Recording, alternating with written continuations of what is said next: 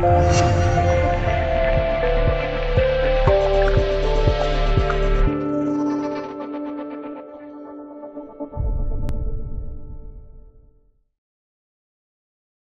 日他曾教你知识，教你做人，今日也请您救他一次。教师是一个伟大的职业，三尺讲堂孕育出无数个优秀的孩子。如今他却永远的倒在了这个三尺讲堂，他再也没有机会批评你了，因为他再也不可能站起来了。如今二三十岁罹患癌症，早已不是什么新鲜事。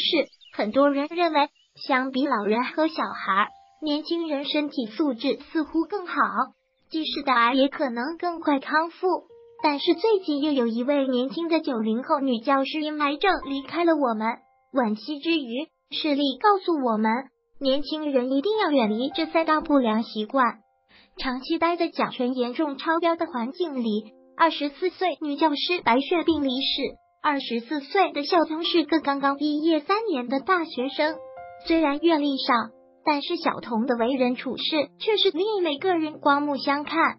他所带的班级次次拿流动红旗，平均分也比别的班要高出很多。对此，校长也经常在大会上表扬他。他和其他教师相处的也是十分融洽，就连他的学生都十分喜欢他。可是最近小童身体的情况却出现了明显的恶化，头晕、恶心，还伴有呕吐。这时才被其他教师发现，直接带他去医院做了检查。经过市医院完整的诊断，确诊小童为白血病晚期，癌细胞已经扩散到了肺部，没有了手术指征，撑到今年七月离开了城市，年仅二十四岁。校长和同事在小童走后不无遗憾的说：“小童是个好教师，他没什么不良嗜好，导致白血病的原。”因可能是他家刚买的那套两居室，如今白血病频发，大部分患者家里半年前都曾装修过，可能是甲醛去除不到位吧。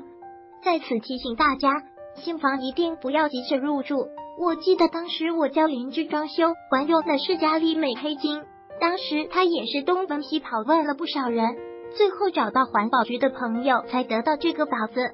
不过这东西效果确实好，听邻居说。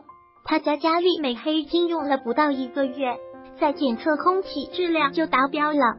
白血病真的是防大于治，就连教师也会出现这样的疏漏，更何况是普通人呢？